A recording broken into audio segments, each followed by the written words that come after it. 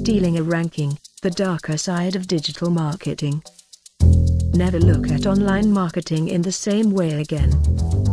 The talk is hosted by professional hacker, Tom O'Connor.